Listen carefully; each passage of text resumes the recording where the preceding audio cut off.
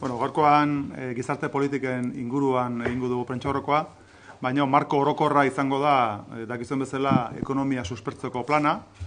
Hor, e, lau atal nagusi zabaltzen genituen eta bat zan ba, gizarte politikei zegokiona. Orduan guk egingo duguna atal hori gaurkoan jorrat. Gure lehentasuna delako gizarteratzea eta inor bazterrean ez ustea. Hori da gure lehentasuna. Honek irudikatzen du zein dan gure helburu nagusia, eta da gizarteratzea. Inor ez da dila bazterrean galditu.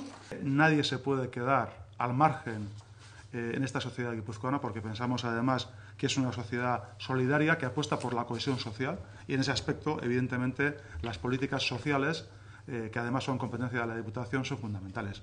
Hirugarren sektorearekin lankidetza ezinbestekoa izango da, gizartetik baztertuta dauden pertsonak edo baztertuta egoteko arriskuan daudenak gizarteratzeko. La Diputación Foral de Guipúzcoa este año eh, va, o cada año va a poner 125.000 euros eh, a disposición de, este proyecto porque desde luego eh, compartimos los objetivos que tiene al 100%. ¿no?